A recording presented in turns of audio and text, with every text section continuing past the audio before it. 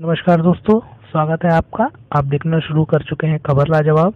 साल 2016 में आई film M S Dhoni, the untold story अभिनेता सुशांत सिंह राजपूत के जीवन की एक टर्निंग पॉइंट साबित हुई। हालाँकि उससे पहले भी वह बड़े पर्दे पर कई किरदार निभा चुके थे। धोनी फ़िल्म ने सुशांत को एक अलग पहचान दी और इस फ़िल्म के बाद सुशांत के फिल्मी कैरियर का ग्राफ तेज़ी से ऊपर के लिए बढ़ने लगा।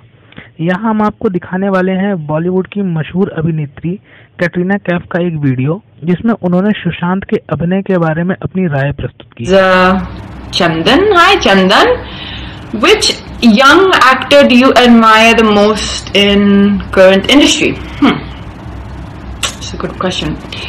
I believe that uh, Sushant was very, very good in um, Dhoni, which just released, and um, I met my friend Gattu a few days back, who of course is the director of Fitur, who I worked with recently, and he said that he has done some amazing work. So I believe congratulations to him.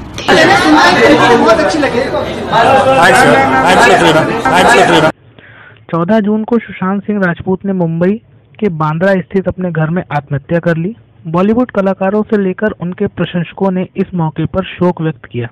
Sushant के निधन के बाद उनके कई video सामने आए। इस बीच कैटरीना कैफ का एक वीडियो वायरल हो रहा है, जिसमें वो सुशांत सिंह राजपूत की film M S Dhoni the untold story का ज़िक्र करते नज़र आई। वीडियो तीन चार साल पुराना है। लाइव चैट सेशन के दौरान कैटरीना के एक प्रशंसक ने उनसे पूछते हैं कि हाल फ़िलहाल के किस कलाकार का अभिनय उन्हें पसंद आया है? इस सवाल के जवाब में कैटरीना सुशांत सिंह राजपूत का नाम लेती हैं। कैटरीना ने जब वीडियो बनाया, उस वक्त फ़िल्म एम एस धोनी 2016 जो थी, वो रिलीज़ हुई थी। कैटरीना फ़िल्म का ज़िक्र करते हुए कहती हैं कि धोनी हाल ही में रिलीज़ हुई है। मुझे लगता है कि सुशांत ने फ़िल्म में काफ़ी अच्छा काम किया है। मैं अपने दोस्त गट्टू, अभिषेक कपूर से मिली थी, जिन्होंने मेरी फ़िल्म फितूर निर्देशित की थी। उन्होंने भी सुशांत के साथ काम किया हुआ है। बता दें कि फितूर को अभिषेक कपूर ने निर्देशित किया है।